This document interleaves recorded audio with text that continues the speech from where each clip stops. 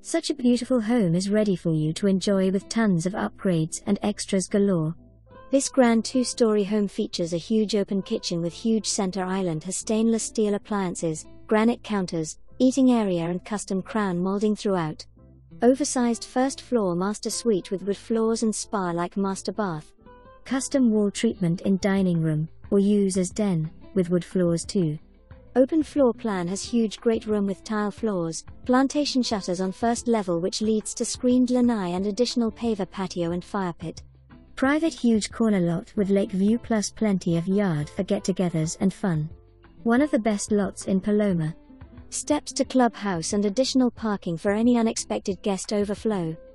You are minutes from the Coconut Point Mall, Miromar Outlets, Gulf Coast Town Center, beaches, shopping, and dining, and airport close to New Bonita Springs High School.